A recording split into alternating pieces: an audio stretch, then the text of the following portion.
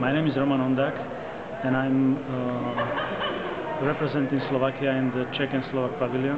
This work is called Loop, and it's, uh, it's an exact copy or continuation of, of reality from uh, the exterior of the pavilion in its interior. So it's uh, in a way pulled into the pavilion in a way that people don't see the difference. It, it blurs between outside and inside.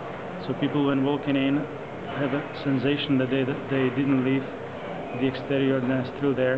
They only realize that they're in the interior when they see the walls. And uh, when they're uh, going out through the exit, they are returning back to the real experience again. So therefore it's called loop.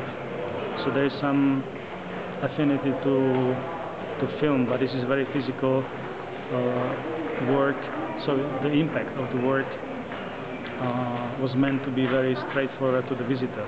And, uh, and uh, participation of visitors is very important because they're walking inside and they are uh, finishing the work by, by walking in it or passing through the pavilion, using, the, using it as a, as a, a passageway because a lot of people even don't notice that this is the artwork and they are just going through the pavilion and they are leaving it. Mm.